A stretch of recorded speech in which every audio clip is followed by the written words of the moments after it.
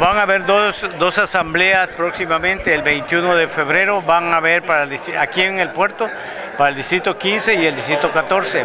Ahí se va a nombrar el PSN, o sea, el promotor de la soberanía nacional, que podemos considerarlo como un probable precandidato para la diputación. Y de ahí van a salir también los precandidatos para diputados plurinominales.